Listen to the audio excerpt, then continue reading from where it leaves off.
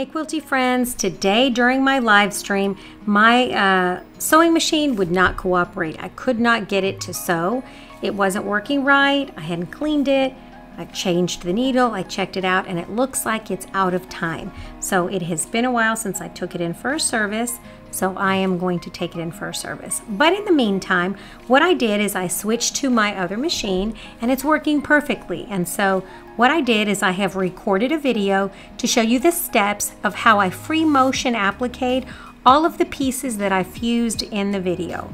And so what I'm going to do is I'm going to um, show you all of the steps that I followed and how I got myself from where I was in the video to this point here where I have free motion stitched all of the the bits on here. So let me show you my process and uh, let's get started okay? Before you begin any free motion project lower your feed dogs and check that you have sufficient bobbin thread. Then you will pull your bobbin thread up through both pieces of material so that the top thread and the bottom thread end up on the top of the project. Set the needle into the down position and then you are ready to check the tension.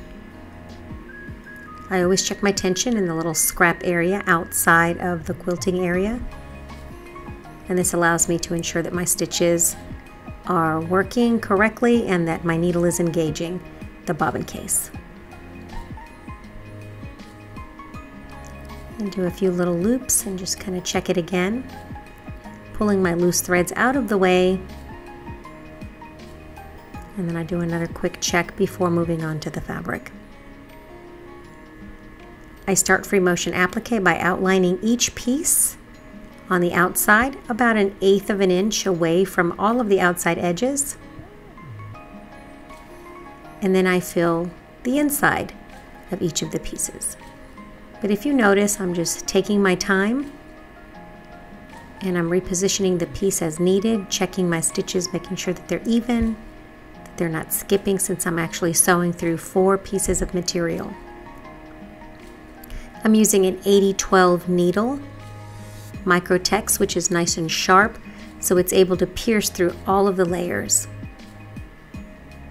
Take your time and keep your hands about six inches apart, and then reposition the piece as often as necessary to keep tight control of all of your stitches.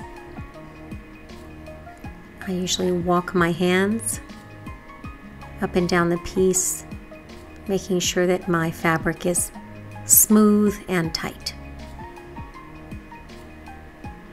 Again, just take your time. Free motion quilting uh, is something that actually takes quite a bit of practice, but once you get the hang of it, you don't need any special tools. I'm just using a darning foot and 40 weight quilting thread and a sharp needle. Make sure you smooth your piece as you go so that you have a nice flat surface. You don't want to actually quilt any bows into the piece. But again, I keep my fingers about six inches apart. Try to relax your shoulders.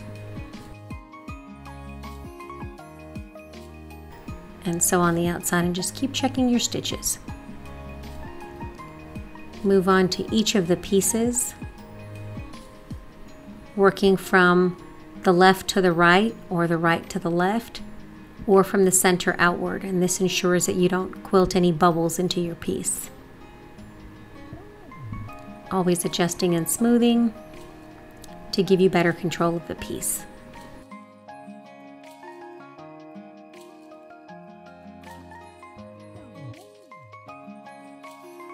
Quilt about every six inches or so before stopping and adjusting just to reduce the strain on your hands and on your shoulders.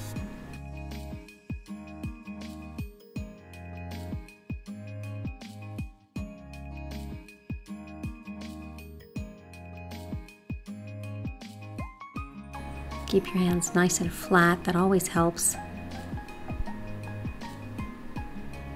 And move the piece up and down. Do not try to quilt too much space at one time. It makes it very hard and take frequent breaks.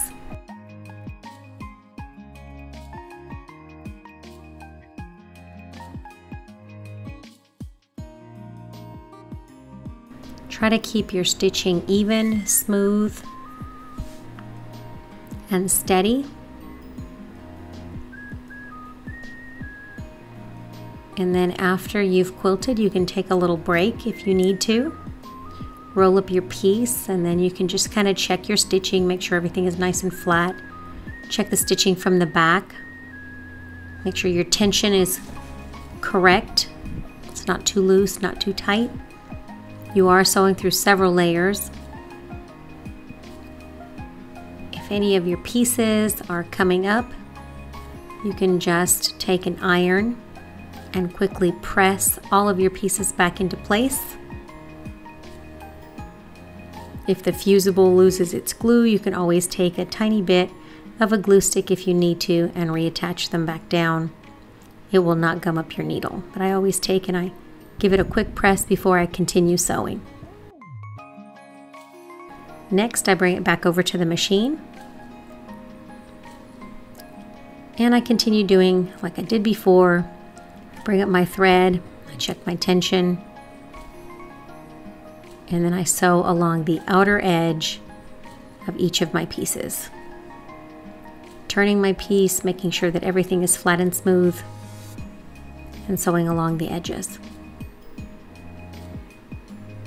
Careful not to get your fingers too close to the edges of the piece.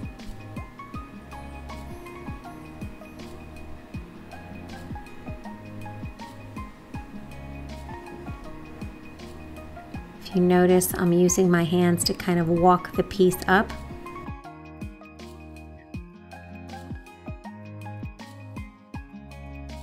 Trying to maintain a nice consistent stitch length.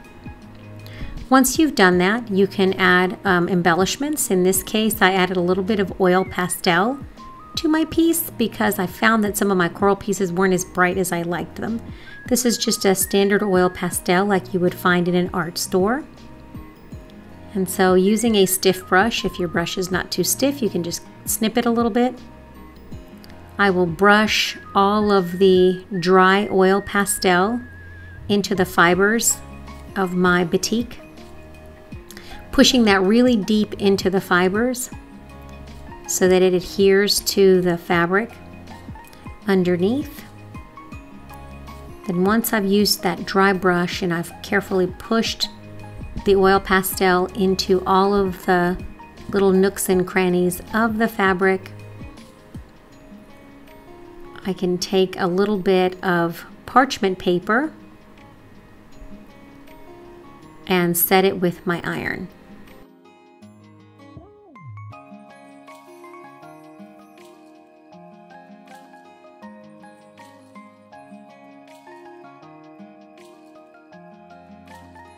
The color of the fabric. Maybe it's just too washed out.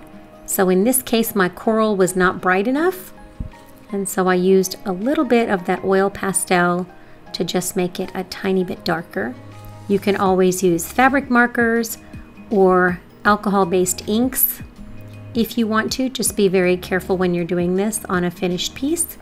That's why I used oil pastels because they don't run. And then take a little tissue and rub any excess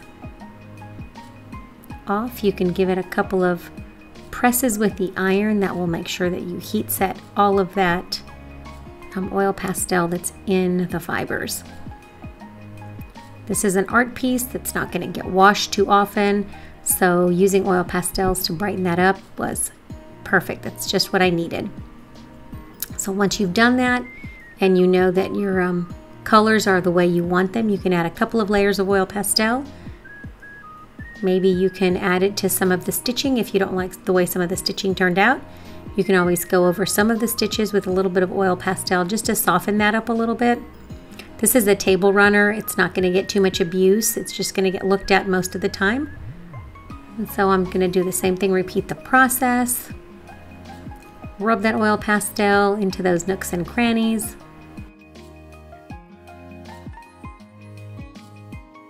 And then I'm going to use my iron to heat set that again. And rub the excess off. All right, friends, I hope you have enjoyed this lesson on free motion quilting. Don't forget to give us a thumbs up and like and subscribe to the Jelly Roll channel so that you don't miss a thing. Have a great day and thanks for watching.